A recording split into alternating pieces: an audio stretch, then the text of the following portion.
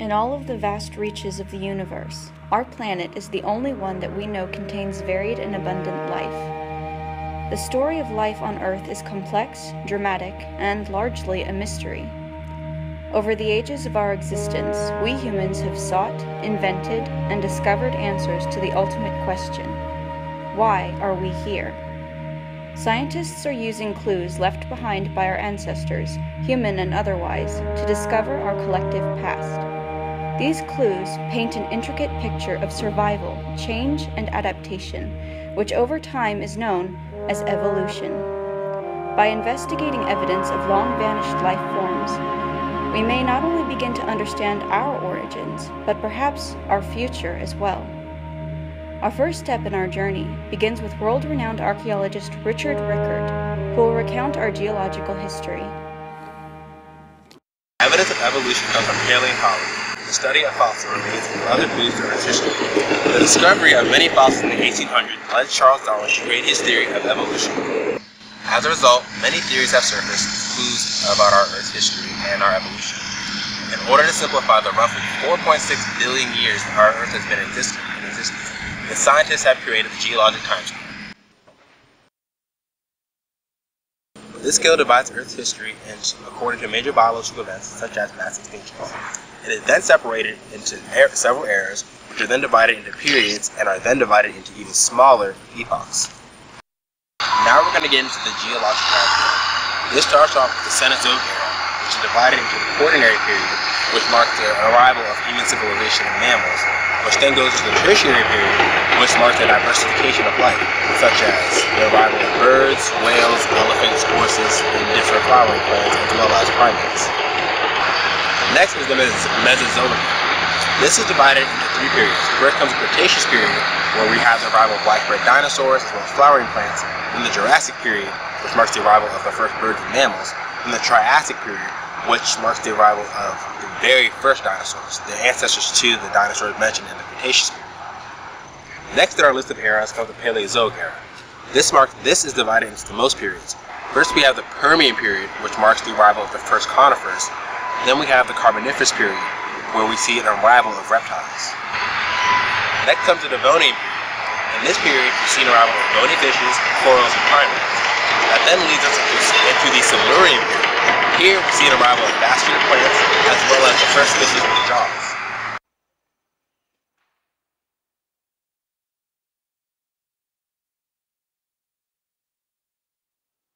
And to conclude the Paleozoic era, we have the Ordovician, the Ordovician era, where we have algae, invertebrates, graptolites, jawless fishes, and the first land plants.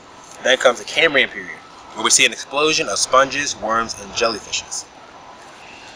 And before that, there's the Precambrian era, where the first organisms were beginning to form, which overall takes us back to at least another 4.6 billion years. Scientists are able to create this timeline by using fossils, the chemically altered and preserved remains of dead organisms. By examining these objects and studying their origins, we can piece together what sort of world these creatures knew, when they lived, and when they died. Our investigation takes us to Cambridge, where we visit the esteemed paleontologists Diego Vasquez and Rebecca Vanzo in order to understand the fossil record. Fossils, like many things on this planet, come in all shapes and sizes, and it is because of fossils that we are able to document our planet's past, at least that of our ancestors and other extinct life forms. Researchers can also use fossils to make accurate predictions regarding evolution. There are three ways that fossils are formed. The first is compression, which takes place when remains are covered in compressed in sediment and preserved. The second is petrification, which involves minerals replacing organic matter and essentially turning a specimen to stone. The third is impressions, or a cast, left when a dead animal's body makes an impression in mud or sediment and then decays. The mud and the imprint hardens into rock. Unfortunately, our fossil record is incomplete which makes it very hard to figure out key features of evolution. This is due partly to scavengers, who eat dead animals and displace bones, and also to the fact that soft-bodied organisms do not preserve well. So from this diagram, we can uh, see a couple of examples of compression, petrification, and impression. So compression, uh, pretty much say a leaf sinks in, fine sediment covers it, and then the sediment compresses that, forming it into a sedimentary rock. Now, petrification is when an animal dies or decays and then is buried. As you can see, this little animal right here was buried, and eventually that gets uh, the organic material gets replaced, and that's how we get um, something like turned into stone. For example, petrified um, wood would be a great example of that. And then lastly is an impression. An impression is anything that um, when an animal dies and then it gets impressed in the mud, the animal decays away and then the mud hardens, leaving that imprint of the animal, which then turns eventually into a fossil. The age of a fossil can be determined in two ways with modern science, relative dating and absolute dating. Relative dating does not give an exact numerical age of the fossil, but rather how old it is in comparison to the rocks and fossils found in the same area. We base relative dating on the law of superposition. The natural law of superposition is based on the idea that old material is deeper in the ground and new material builds on top of it.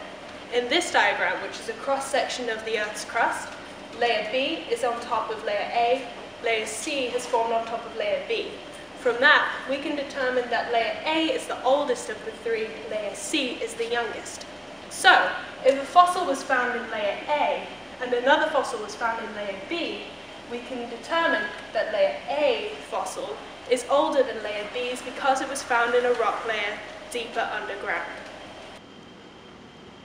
Absolute dating, on the other hand, gives an actual date in years, not when it occurred as in how we give normal historical dates, for example, it formed in such and such a year, but rather how old it is in relation to the present. For example, we'll say a fossil is 5 million years old, or MYO for short. We determine absolute dating by using radioactive isotopes of certain elements to determine how old the uh, fossil is. To do that, we need to know the half-life of the radioactive isotope. In this example, radioactive isotope A has 40 atoms of its original element and a half-life of one hour. What that means is after one hour, half of the atoms of the isotope will have decayed into a product, leaving 20 atoms of the original element left. In the second hour, half of those will decay to leave only 10 atoms of the original element. In the third hour, the half of that will decay, and so on. So when we find traces of an isotope on a fossil and its corresponding decayed product, when, and we know the half-life, we can work out how many half-lives in total have passed, and therefore how old the fossil is. Now the most common form of radiometric dating that we use, it's a term you've probably heard before, is carbon dating, and it's named that because it specifically uses the isotope carbon-14 to determine the age of the fossil. Now, carbon-14 is formed in the atmosphere when cosmic rays bombard nitrogen, and it has a half-life of 5,730 years. Plants take in carbon-14 when they photosynthesize, and animals will take it in when they when they eat the plants. It's the same way organisms uh, take in uh, carbon-12, which is the more common form of carbon. So both forms of carbon will accumulate inside the organism's bodies. When the organisms decease, intake of both forms of carbon will stop. The ratio of carbon-14 to carbon-12, however, will decrease slowly over time from that point, however, because carbon-14, being radioactive, will decay. Carbon-12, its more stable counterpart, will not. So when we find an organism that has been deceased for a long time, we can measure the amounts of carbon-14 and carbon-12 remaining in its remains. And the ratio of the two carbons will tell us how long ago that organism died. In addition to when our ancestors lived, fossilized remains can tell us where they lived, which is not always the same place that the fossils are found. The Earth has undergone drastic changes over the eons since its inception. The remains of the animals who witnessed these changes are scattered like puzzle pieces across the planet, creating a web of relation and dispersion. scientists must follow each strand of evidence to find out how life and the planet itself have changed over time. One such scientist is Professor Alfredo Rodriguez from our very own University of Virginia.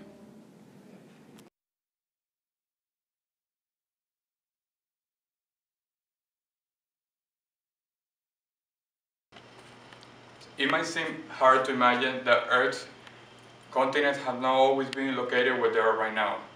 But a wealth of evidence, including the distribution of some key fossils, indicate the Earth was the continents were once united, and it was called Pangaea. It was about 280 and 200 million years ago. So I'm going to talk about how biogeography considers a species' geographical location. Geographical barriers greatly influence the origin of a species. It is therefore not surprising that geography and biology overlap in one field, biogeography, the study of the distribution of species across the planet. The theory of plate tectonics explains Earth's shifting continents. Despite the occasional volcanic eruption and earthquakes, Earth's geological history might seem rather uneventful. Not so fossils tell the story of ancient seafloor rising all the way to the Earth's ceiling, the Himalayan mountain. So a question you might ask yourself is, how did fossils of marine animals end up more than 3,600 meters above sea level? The answer is that Earth's continents are in motion, an idea called the continental drift. According to the theory of plate tectonics, Earth's surface consists of several rigid layers that move in response to forces acting deep within the plate. The case of the missing marsupials. Marsupials are pouch mammals such as kangaroos, like this one, koalas, and sugar gliders. Nevertheless, fossil evidence suggests that marsupials were diverse and abundant in South America about one or two million years ago, long after the counterparts on most other continents has disappeared. Island, island biogeography. A smaller scale application, biogeography is the study of species on island chains. Hawaii, the Galapagos, and other island groups house unique group of species that appear closely related to those on the nearest mainland. Wallace's line. Biogeography considers prominently in the history of evolutionary thought. Alfred Russel Wallace, the British naturalist who independently discovered natural selection, along with Charles Darwin, had noticed the unique assemblage of birds and mammals on either side of the imaginary line on Archipelago.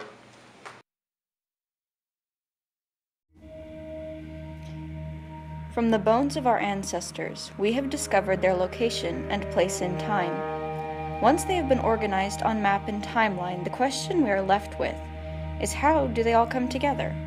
How did one species become another? To answer these questions, we must turn away from the dead and look to the living.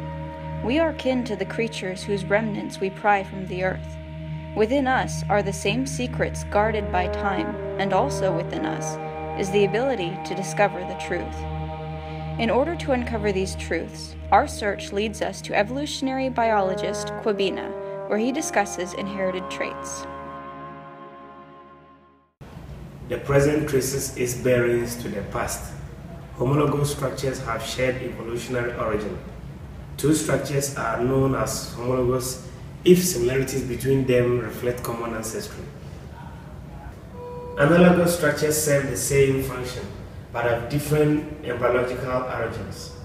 The tail of sharks and whales serve the same purpose and are of roughly the same shape, but a shark's tail is vertical and that of a whale is horizontal because they develop from different structures.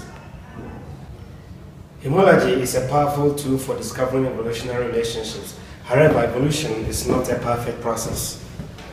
Vestigial structures are structures or organs that have been claimed by evolutionists to be leftovers that are no longer functional.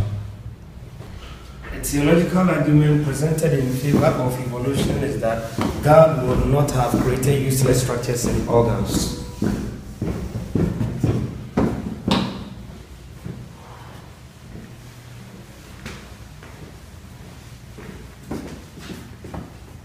Humans have several vestigial structures such as the tiny muscles that makes hairs stand on end that helped our furry ancestors conserve heat.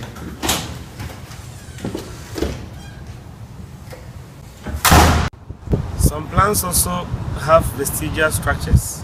Dandelions and plants like these, for instance, produce asexually. Yet their flowers have male and female pairs that do not participate in reproduction. Convergent evolution produces superficial similarities. Convergent evolution describes independent evolution of similar features in species of different lineages. This results in analogous structures that have similar form function but were not present in the last common ancestor.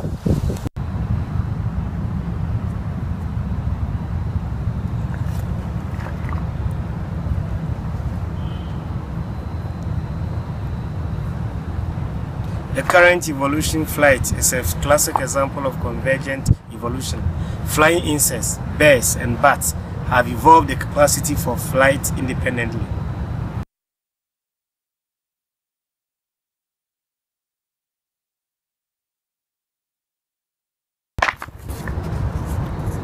Functionally, similar structures that arise through convergent evolution are termed as analogous. Contrast to homologous structures or traits which have a common origin but not necessarily have the same function.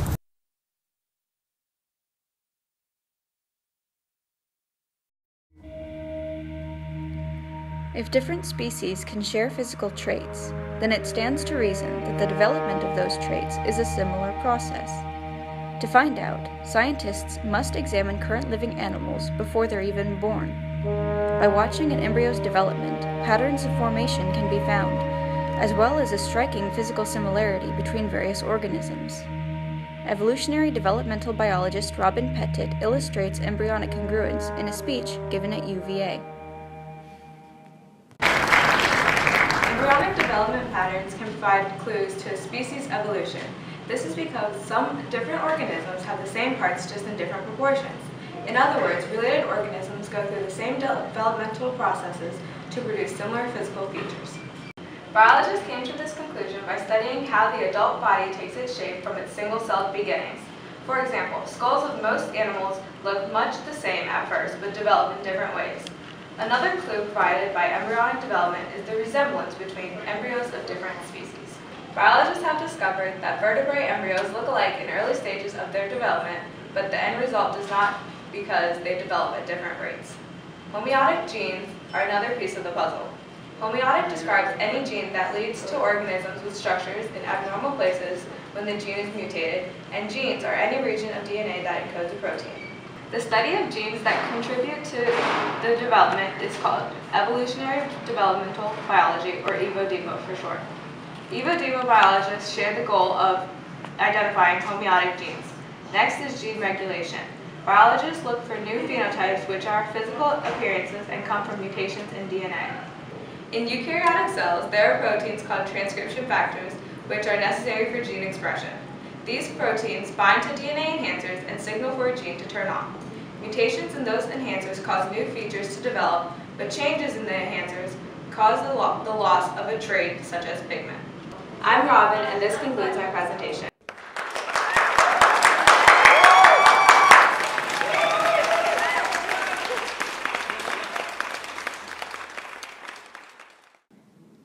Evolutionary hints can be found on a smaller scale than outward appearance.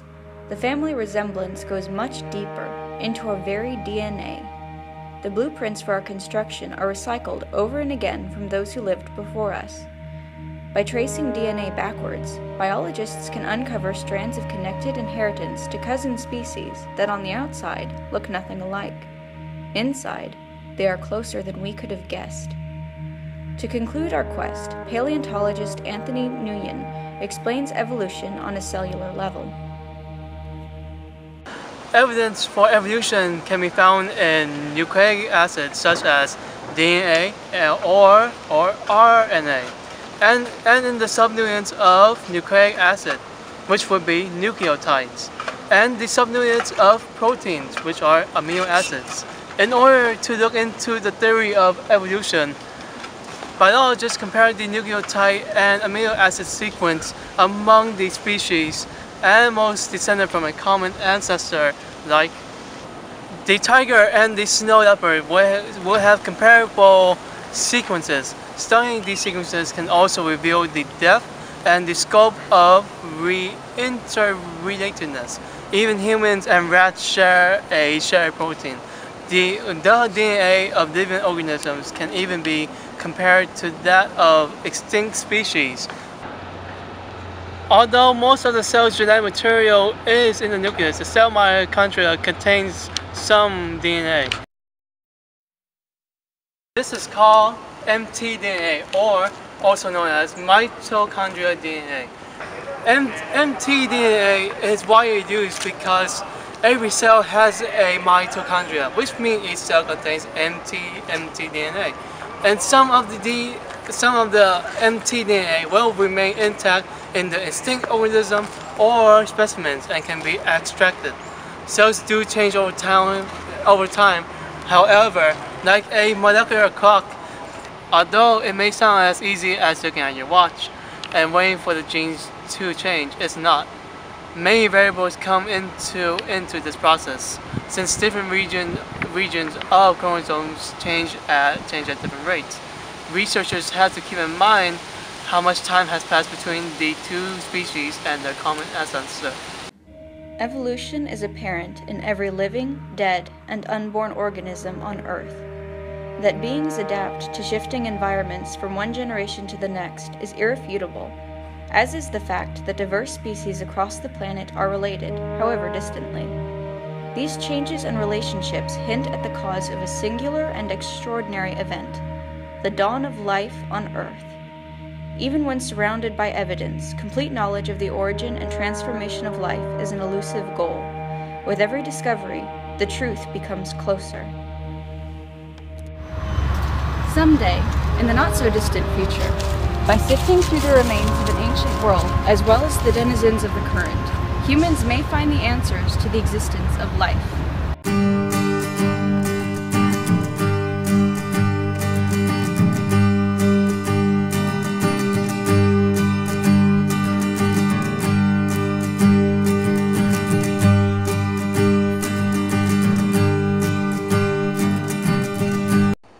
Evidence for evolution. What?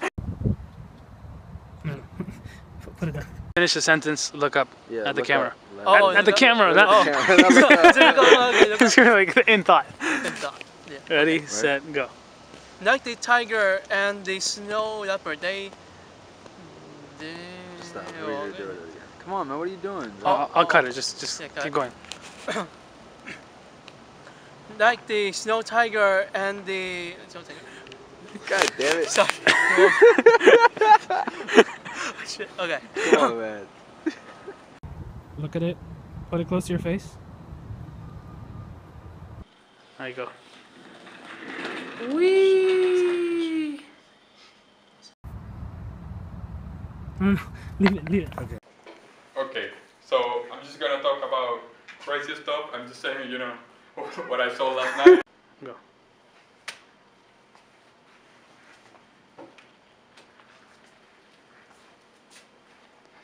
Just a little bit more.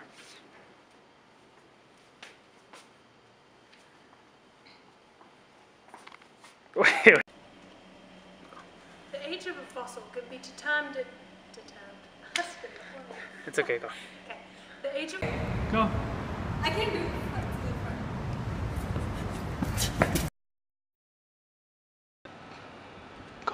Although, although Another. Oh shit.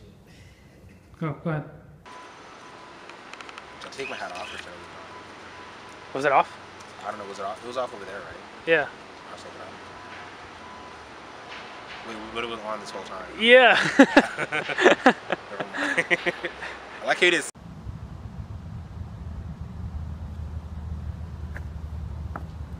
you have to act like you're looking at it. Okay. So, so, As you look at it, then I begin to read. yeah. yeah. Now throw it and catch it. Keep doing it. That's like you're catching a One, two, three, go. I'm Robin, and this concludes my presentation.